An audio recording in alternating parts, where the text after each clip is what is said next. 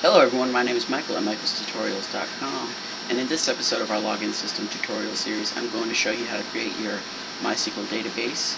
Um, and for now we're just going to create a local host database. That means it won't be on the internet for, per se.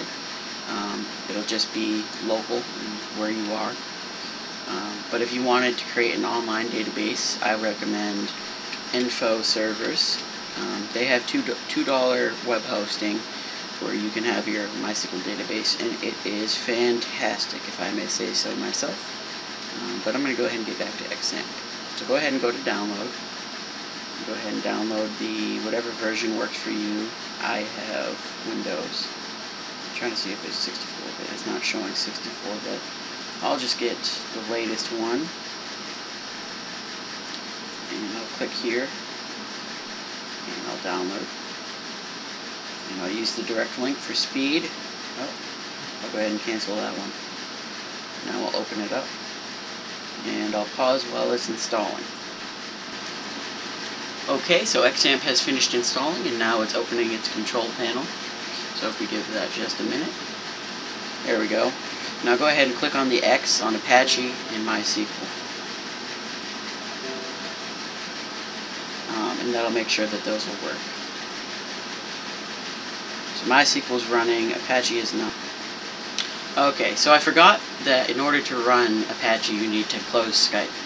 So go ahead and do that if you have Skype and it's open. Now, we have our phpMyAdmin open, and we need to go over here on the left and click on New.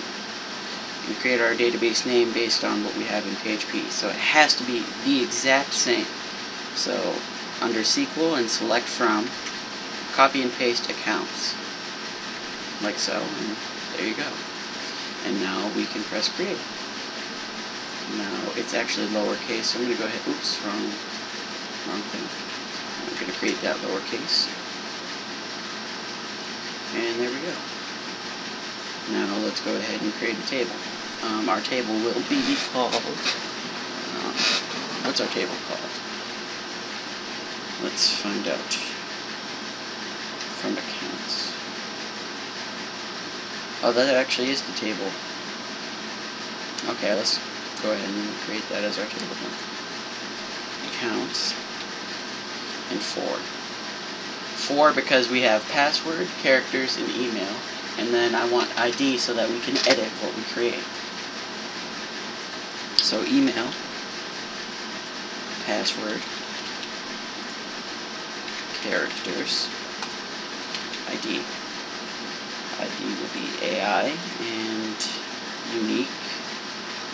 And this will be var varchar, varchar, and 50 and then 10. So 10 for characters is 10 character limit. Um, int is an integer, meaning it's a number. Varchar means um, a string, or letters and numbers, you know, whatever. Um, length and values means the length um, that it is.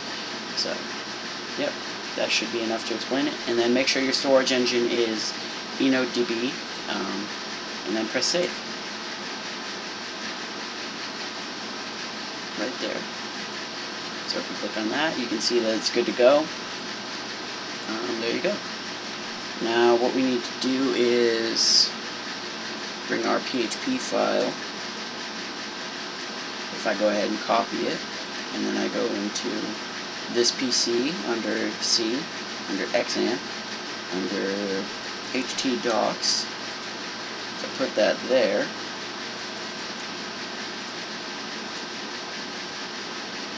We should be good to go. Um, so yeah, let's go ahead and give it a test.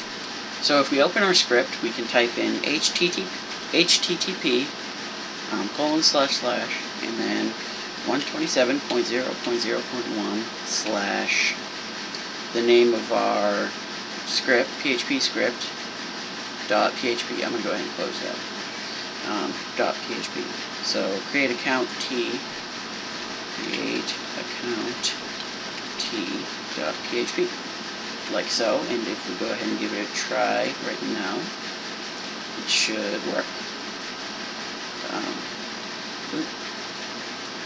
Michael uh, at yahoo.com. Oh, I see what's going on. Okay. Okay, so we actually want to change our host name to localhost and our username to root. And then we should be good to go. And I'm going to go ahead and put that in the folder and give it another try. So hold on another second. I'm sorry. Okay, we have another mistake in our PHP script. This one's very simple.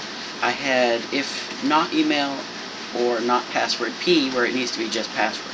So go ahead and save that off, put it in your folder. Right now, this is in my folder. I just opened it there. So now we can go ahead and give it a try, and it should work. It says success. Let's go ahead and go into our um, database and click under accounts. And you should see right here that we actually have an account as.yahoo.com with an encrypted password and ID. We can edit it, um, delete it, and you can see that he has zero characters. So fantastic, it is working. Thank you very much for watching this tutorial, and I hope to see you again soon.